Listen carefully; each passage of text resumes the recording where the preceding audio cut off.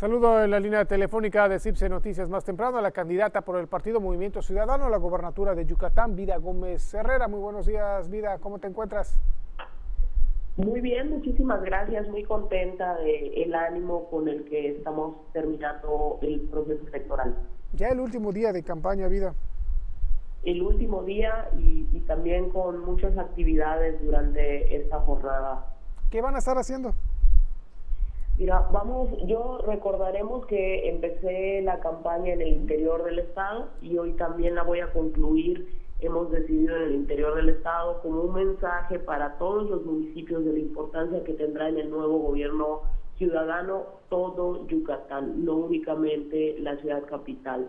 Así que en Atanque, en la explanada principal, a partir de las 8 de la noche estaremos cerrando campaña y que nos va a permitir mandar un, mensaje también de fortaleza porque el Movimiento Ciudadano no ha dejado de crecer y rumbo a la encuesta definitiva del 2 de junio estoy convencida que este mensaje que daremos el día de hoy será muy importante. ¿Cómo te has sentido en esta campaña, Vida? Si podemos hacer un balance, ¿qué podemos resaltar de esta campaña electoral? Primero, lo, lo que destaco mucho es que la gente se informa la gente ahora vio el debate, estuvo muy pendiente del primer debate que tuvimos y eso le dio una vuelta total al proceso electoral. Personas de todo el estado me han dicho, mira, vi el debate, me gustaron tus propuestas y voy a votar por ti. Ese es el primer elemento sobre el que yo pondría mucha atención porque celebro que la ciudadanía se esté informando, conociendo las propuestas. Eso es lo que más me sirve a Yucatán llegar a votar con información y llegar a votar por la mejor opción. También destaco mucho que la gente ha observado que Movimiento Ciudadano es un partido que sin alianzas, sin trampas, sin juego sucio y con una nueva generación de personas le abre las puertas a la oportunidad de tener un nuevo Yucatán. Y la gente, por ejemplo, el, el día lunes que estuvimos en la pega de Calcas, ahí en el rumbo de Cauquel, fue impresionante la respuesta de personas de toda la ciudad de Mérida que iban para saludarlos, para presentar su apoyo.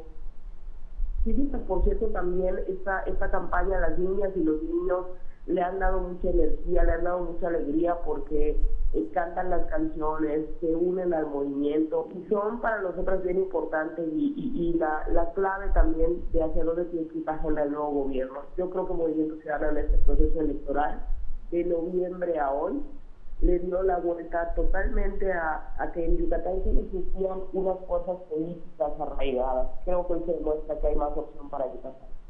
Vida, si podemos hacer un resumen de tus propuestas de campaña, las principales, ¿cuáles estaremos mencionando? En primer lugar, atender la salud de las y los yucatecos. ¿Cómo lo vamos a hacer?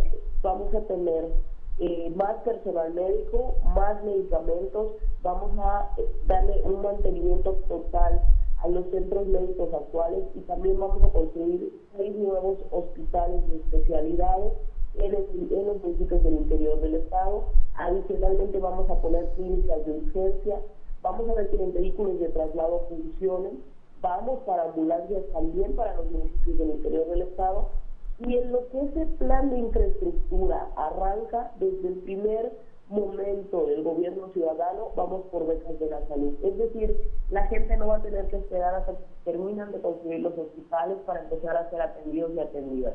Las becas de la salud se trata que la gente vaya por sus medicamentos, por sus consultas, por sus cirugías pagadas por el Estado al centro médico que ellas y ellos quieran, porque la salud no puede esperar.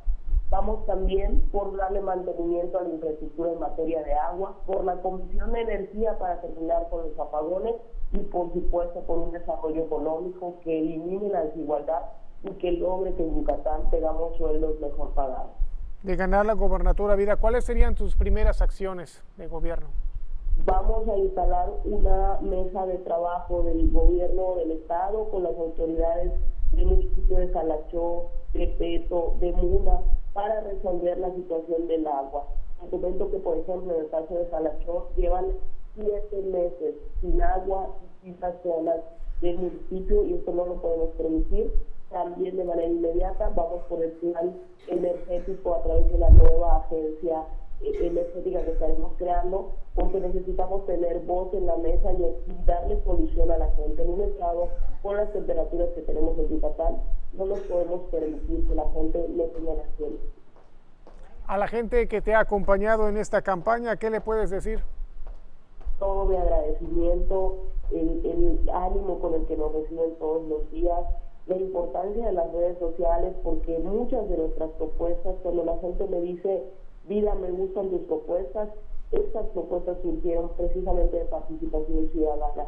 No hemos dejado de escuchar, todos los días escuchamos y agradezco la confianza de la gente de mandarme mensajes en redes, de entregarme cartas en los distintos puntos del Estado para comentarme sus ideas, porque eso es lo que nos hace falta, una autoridad más cercana que escuche una autoridad que esté dispuesta al diálogo, que esté dispuesta a la evaluación constante. Yo creo que la gente todos los días observa distintas problemáticas.